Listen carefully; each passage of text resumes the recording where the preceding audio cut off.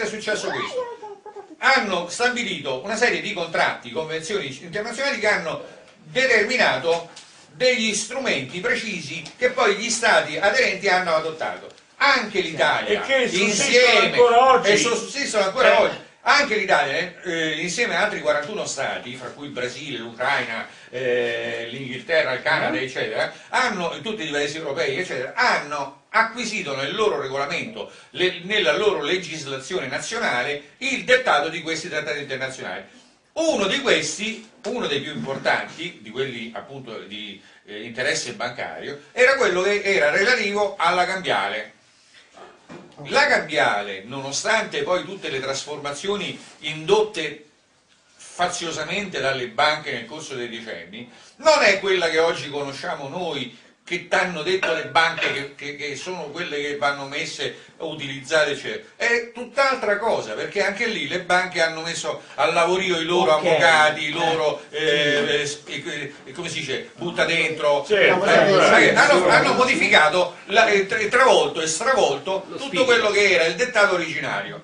Allora, io sono andato invece Però, a Per quanto recuperarlo. riguarda gli aspetti nazionali, Raga, però la non ci interessa, No, qua no, siamo d'accordo, noi ci interessa una cosa pratica. Ragazzi, Come applicare Allora, se non ci arriva, porco Giuda, come fai a arrivare? Aspetta un attimo. Allora, quindi noi è bene che sappiamo che la cambiale è uno strumento a disposizione di tutti e non obbligatoriamente bancabile. La banca può eventualmente eh, scontarlo, se uno vuole va lì e gli dice oh, me- io ti do un credito che ho io, me lo, me lo, me lo vendere. cambi e glielo deve vendi. Lui invece ti date 1000 euro che c'è scritto sulla cambiale, la banca ve ne dà 900 perché è a 4 mesi, a 6 mesi, a un Non te lo anno. dà neppure, perché a me mi è successo una volta. Di più, di più, di più, lasciamo perdere. Allora, e però tu prendi i soldi in Ok, cambio. diventa un credito bancabile però, Certo. o vendibile. Vendibili, e tutti i crediti Lo sono posso anche vendere a un Tutti privato. i titoli sono vendibili. Lo posso vendere anche a un privato. Chiunque. Eh,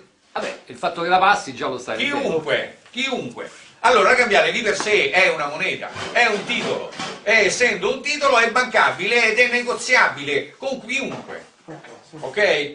Quindi ecco perché la, la cambiale la giri e la, e la cambi a dove cazzo te pare. Se tu sei disponibile ad accettarlo, me- Ok, ma l'emissione dei cambiali è regolamentarizzata da... allora c'è la legge, il Regio Decreto 1699 del 33 che recepisce questa convenzione internazionale del 1930. Le cambiali quindi sono una moneta cartacea a tutti gli effetti, che però invece di emettere quel figlio di puttana di Trebuchet, Lui, te, io, lui, certo, tutti sì. quanti. Allora come funziona? Nella regola normale, nella prassi normale, uno c'è il tra- traente e il trattario. Il traente è quello che, che- che- che- la prende e il trattario è quello che la firma. Ok? Nella cambiale c'è scritto pagabile presso, lì ci puoi mettere qualunque indirizzo vuoi. Allora, Ci noi- metti l'indirizzo della banca, tu Sì. la porti in quella banca e ci metti l'indirizzo in quella se banca. però tu non la vuoi mettere in banca, lo barri, non ci metti un cazzo e non la banchi da nessuna E parte. allora poi se- tra- bancabile solo a rete dei cittadini? Esatto. E Esatto. così non è più bancabile in banca? Esatto. E cavolo, però dillo subito. No, cioè, questo è- però questo detto, nessuno vieta che la, che eh, la cambiale possa essere scarabocchiata, però tu sai bene che se una cambiale viene scarabocchiata ci deve essere la, la firma del traente originario.